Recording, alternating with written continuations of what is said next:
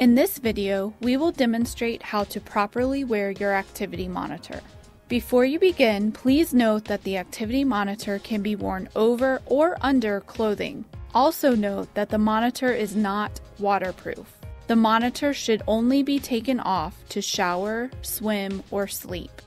To begin, as soon as you wake up, place the activity monitor on your waist on the non dominant side of your body. For example, if you are right handed, you wear it on your left side. You then clip the two ends of the waistband together. The activity monitor must face outward as shown. Now pull the ends of the waistband to ensure a snug fit.